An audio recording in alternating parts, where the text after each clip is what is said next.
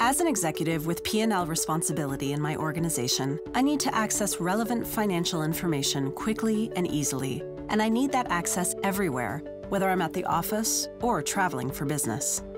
In this scenario, learn how Workday allows me to add content to my financials dashboard online, and then access the most important content on my mobile device while I'm traveling.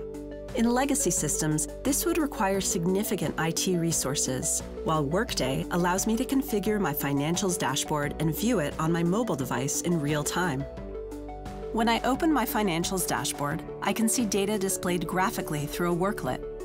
I can easily add, delete, or change the order of these worklets. And if there is a specific worklet I want to add, I can simply select it from the list, add it to my dashboard, and set the order. Now, that worklet will appear every time I open my financials dashboard. Not only does it appear in Workday at the office, but it's immediately available on my mobile device. I can also set up specific notebooks with Workday's mobile interface. This lets me organize and bookmark content in a way that works best for me. I can simply open the financials dashboard via the mobile interface, bookmark the selected worklet, and designate in which notebook to store it from here, I can use the content in the notebooks I've set up to understand and run my business my way.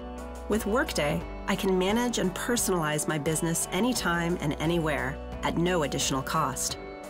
Doesn't your organization deserve this kind of access?